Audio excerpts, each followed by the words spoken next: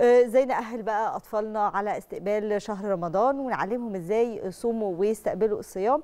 دي أسئلة ممكن تكون موجودة جوه الأسر المصرية تحديدا اللي عندهم أطفال أول مرة ممكن يكونوا بيصوموا. زميلتنا لمياء حمدين عملت فقرة مهمة جدا عن فكرة تأهيل الأطفال نفسيا على الصيام.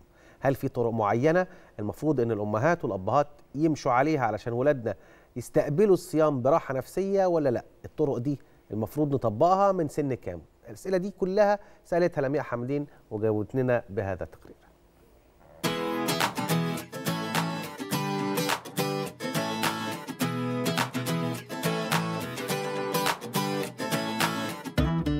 صباح الخير في شهر الخير وكل سنة وكلنا طيبين.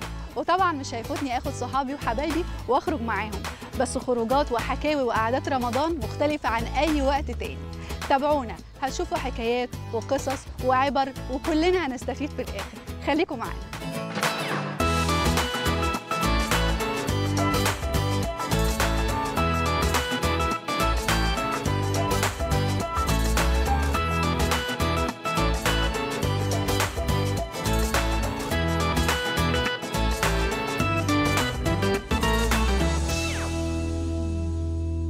النهارده معايا أصحابي هنبتدي معاهم شهر رمضان وهيقولوا لنا إحنا بنعمل إيه في رمضان وبنستعد إزاي لرمضان. عاوزة أبدأ بالاستاذ يونس. إزيك يا يونس؟ اسمك ده يعني إيه؟ عارف؟ مم. يعني إيه؟ مش عارف. طب قول لي أنت بقى لما شهر رمضان بيجي بتعمل إيه؟ بت... بنشوف. بنصوم؟ أنت بتصوم؟ بتصوم قد إيه؟ طول اليوم؟ لأ. طب بتعمل إيه؟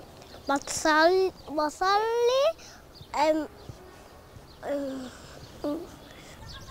سبانة عاملة إيه؟ الحمد لله. كل سنة وانت طيبة. انتي طيبة.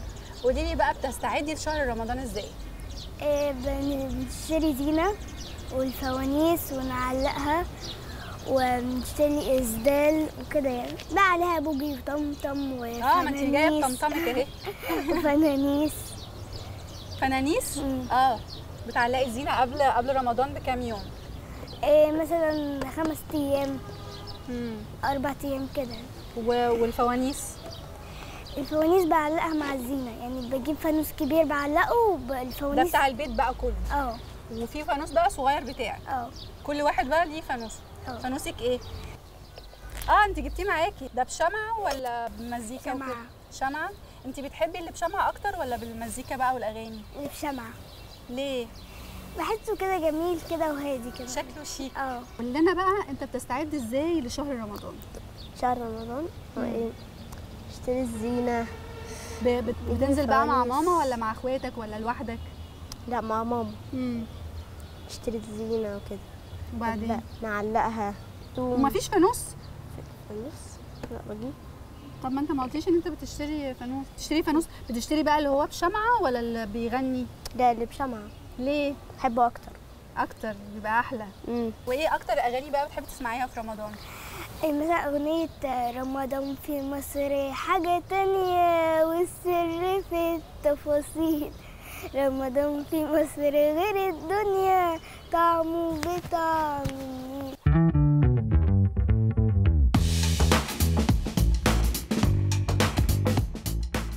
دايما يقول لك رمضان ده شهر الخير نعمل فيه خير والناس تبقى قريبة من بعضها و... ويبقى فيه ود كده. نوزع فوانيس. بتوزع فوانيس؟ مم. على مين بقى؟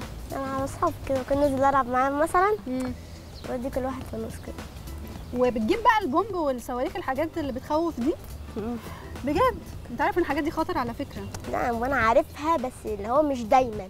مش دايما. انت بتزعق لي يا ياسين؟ مش بزعل أنا بس بتساعد ماما بقى في الفطار؟ بتعمل معاها إيه؟ باكل. باكل. بس.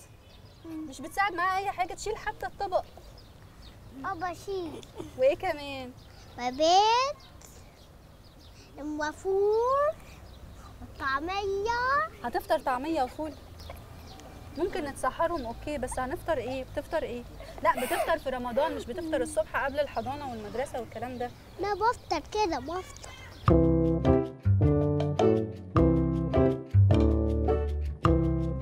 إحنا كده كده آه، عرفنا آه، يونس بيعمل إيه؟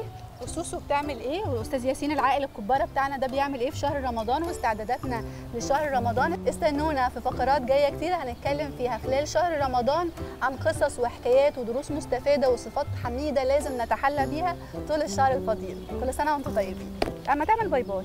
هيجرى bye bye.